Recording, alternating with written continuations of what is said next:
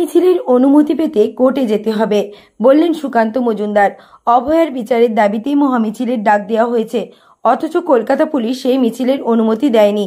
মঙ্গলবার বিজেপির নোয়াপাড়া চার মণ্ডলের উদ্যোগে আয়োজিত দুর্গাপুজোর উদ্বোধনে এসে এ প্রসঙ্গে বিজেপির রাজ্য সভাপতি সুকান্ত মজুমদার বলেন, মিছিলের অনুমতি পেতে কোর্টে যেতে হবে কোর্টে গিয়ে কান মুড়ে অনুমতি আদায় করতে হবে।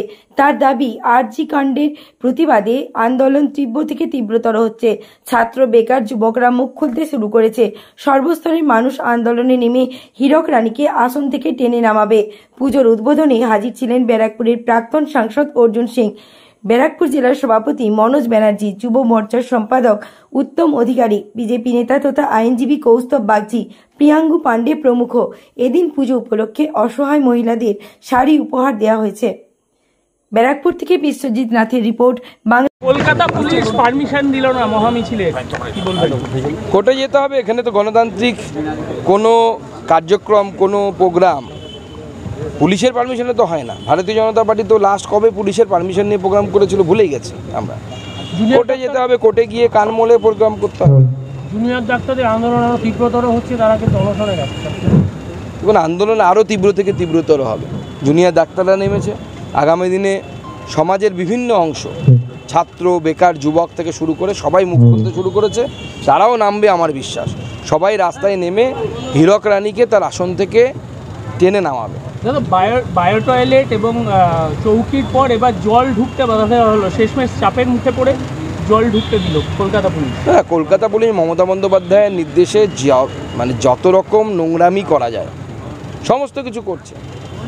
এবার বাঁশ বাঁশের ঝাড়কে যেরকম হবে, বাঁশ তো সেরকমই হবে। আমাদের শাসকই এরকম নিষ্ঠুর, যে বিরোধীদেরকে যারা বিরোধিতা করছে, যারা আওয়াজ তুলেছে এই অন্যায়ের বিরুদ্ধে, তাকে কুকুরের সাথে তুলনা করছে। তাহলে তার পুলিশ আর কি হবে? মেরুদণ্ড বাঁকা পুলিশ মেরুদণ্ড খুঁজে পাচ্ছে না। টেবিলের তলে মেরুদণ্ড খুঁজে বেড়াচ্ছে পুলিশ এখন। আটান্ন দিন পর চার্জশিট পেশ হলো। একজন অভিযুক্তকে দেখানো হয়েছে এখনও পর্যন্ত কি বলবেন? দেখুন এই চার্জশিটের মধ্যে দুটো বিষয় আছে। একটি হচ্ছে সঞ্জয় রায়কে অভিযুক্ত হিসেবে দেখানো হয়েছে। দ্বিতীয় যে বিষয়টি সবথেকে গুরুত্বপূর্ণ যেটা আমরা মিস করে যাচ্ছি সেটা হচ্ছে তথ্য প্রমাণ লোপাট করা হয়েছে। সিবিআই ইনভেস্টিগেটিং এজেন্সি বলছে কোর্টের সামনে যে তথ্য প্রমাণ লোপাট করা হয়ে গেছে।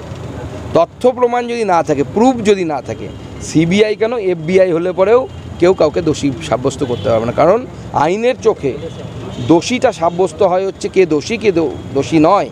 এটা সাব্যস্ত হয় হচ্ছে তথ্য প্রমাণ দিয়ে বা প্রুফ দিয়ে ক্লু দিয়ে। স্বাভাবিকভাবে সেগুলোকে যদি মুছে ফেলা হয়, তো নতুন আর কে ধরা পড়বে? একজন ফেসে গেছে, সে বলির বকরা হবে। কিন্তু কতগুলো তো সন্দেহের বিষয় থেকেই যাচ্ছে। যে আমাদের কাছে যে তথ্য, সেই তথ্য বলছে যে এই রেপের, মার্ডারের ঘটনা ঘটানো, যা সঞ্জয় রায় ঘটিয়েছে বলে বলা হচ্ছে, তার আগে সে একবার রেড লাইট এরিয়ায় গেছে। তারপরে সে নাকি ধর্ষণ করেছে, রেড লাইট এরিয়ায় গিয়ে সে শারীরিক সম্পর্ক করেছে, সেটা প্রমাণ হয়ে গেছে, আবার ধর্ষণ করেছে, আবার সকাল সাতটায় গিয়ে নিজের স্ত্রীর সাথে শারীরিক মিলন করেছে। একজন পুরুষের পক্ষে এক রাতে কয়েক ঘণ্টার ব্যবধানে এত কিছু করা সম্ভব? বায়োলজিক্যালি তো সম্ভব না। এবার স্বাভাবিকভাবে বোঝা যাচ্ছে যে এই তথ্য প্রমাণ লোপাটের ফলে অনেকেই বেঁচে যাবে।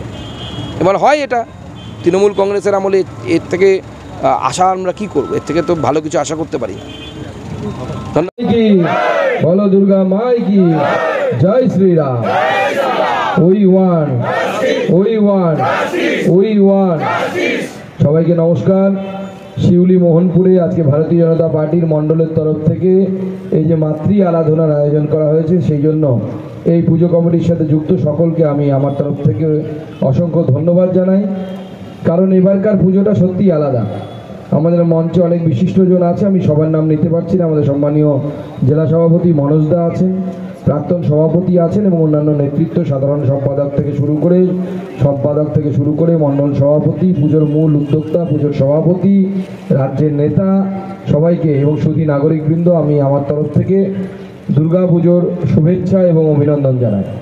যেটা বলছিলাম যে এবারের পুজো একটু আলাদা।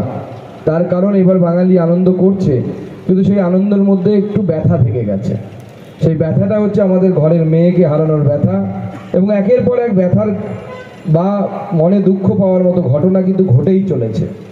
আরজিকর কাণ্ড, তার সবে চার্জশিট পেশ হয়েছে, একজন মাত্র ধরা পড়েছে, বাকি দুজন ধরা পড়েছে, তথ্য প্রমাণ লোপাটের দায়ে।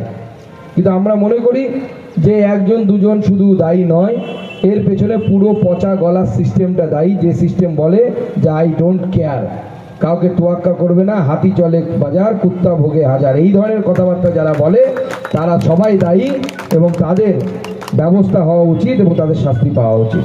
আজকে ভারতীয় জনতা পার্টির এই পুজোকে আটকানোর জন্য সব রকমের চেষ্টা হয়েছে। নতুন কিছু নয়, আমি গতকাল গেছিলাম আমাদের শ্রীরামপুর জেলার একটি ডোমজুর বিধানসভার অন্তর্গত সেখানে একটি বিজেপির ভারতীয় জনতা পার্টির পুজোতে। সেখানে পুলিশ এসে বলেছে, আমাদের যারা প্যান্ডেল করেছে, আমাদের ভারতীয় জনতা পার্টির যারা সদস্য, সেই প্যান্ডেলের থিম হচ্ছে নালন্দা বিশ্ববিদ্যালয়। যে নালন্দা বিশ্ববিদ্যালয় একসময় বক্তিয়ার খিলজির দ্বারা ধ্বংসকৃত হয়েছিল। তার বাইরে দুটো শীত দ্বারা রেখেছিল।